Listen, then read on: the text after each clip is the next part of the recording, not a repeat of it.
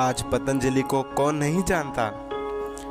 पतंजलि भारत की एक ऐसी विश्वसनीय कंपनी बनी, जिसने सारे भारतवासियों का मन तो जीता ही, साथ ही विश्वास भी जीत लिया। सारी फॉरेन कंपनीज़ को फेल करने वाली एकमात्र कंपनी पतंजलि, जो अब और भी ज़्यादा मुनाफा कमाने के लिए शेयर मार्केट में आना चाहती है। अगर बात आती है शेयर मार्केट की पतंजलि कंपनी का कुछ टर्नओवर और संपत्ति के बारे में भी जान लेते हैं। बाबा रामदेव के अनुसार बाबा के ट्रस्ट की संपत्ति के बारे में बात करें तो पिछले वित्त वर्ष में बाबा रामदेव ने दिव्य योग मंदिर और पतंजलि योगपीठ का कुल टर्नओवर 1100 करोड़ रुपए बताया था। लेकिन इसके अलावा भी बाबा के कई प्रोजेक्ट हैं, जिन पर करोड़ों रुपया लगना है।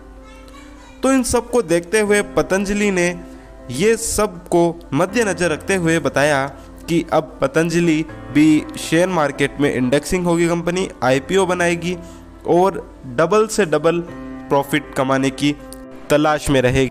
अब पतंजलि जो यूनिलीवर जैसी बड़ी बड़ी कंपनियों को पछाड़ने में है। जैसे ही पतंजलि पहले मार्केट में जब आया था वैसे ही धूम मचाई। तो अब शेयर मार्केट में आने के बाद पतंजलि पतंजलि ने अपने प्रोडक्ट्स के ज़रिए शोहरत हासिल तो कर ली। मगर अब शेयर मार्केट में आने के बाद अब पतंजलि कितनी और शोहरत कमाती है और कितनी और दौलत कमाती है। अब ये जब बात है पतंजलि के शेयर मार्केट में आने की तो इससे यह पता चलता है कि मार्केट में एक बार धूम ज़रूर मचने वाली है। जैसे ही प्रोडक्शन में पतंजलि एक सबसे बड़ी ब्रांड बन चुकी है, अब सबको ये डर है कि यूनिलीवर को पछाड़कर पतंजलि एकमात्र बड़ी कंपनी न बन जाए। अब ये सब सुनने के बाद आपके मन में ये ज़रूर सवाल मन में आए होंगे कि पतंजलि कब आएगी कंपनी शेयर मार्केट में? क्या ये एक नया आईपीओ बनाएगी या किसी के साथ पार्टनरशिप करेगी?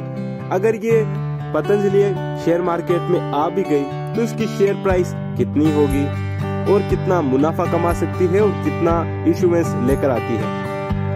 और साथ ही इस कंपनी का जो अभी प्रॉफिट है वो कितना है? कितनी लॉस में है? इसकी कितनी लेबिलिटीज है? कितनी एसेट है? अगर बात आती है पतंजलि की एसेट्स की तो पतंजलि की टोटल एसेट्स है 4,345 बिलियन यानी कि 26.38 परसेंट अगर लेबिलिटीज करंट लेबिलिटीज की बात करूँ तो वह है 11.91 परसेंट अप्रोक्सीमेटली 3,200 करोड़ तो पतंजलि की जो एसेट है वह ज़्यादा है एज कंपेयर टू लेबिलिटीज अगर आपको लेबिलिटीज एसेट्स इनके बारे में आपको कुछ खास या बेसिक नॉलेज नहीं है तो आप हमारे चैनल पर विज़िट करके यूट्यूब शॉर्ट्स के ज़रिए आराम से ये बेसिक्स नॉलेज के बारे में जान सकते हैं।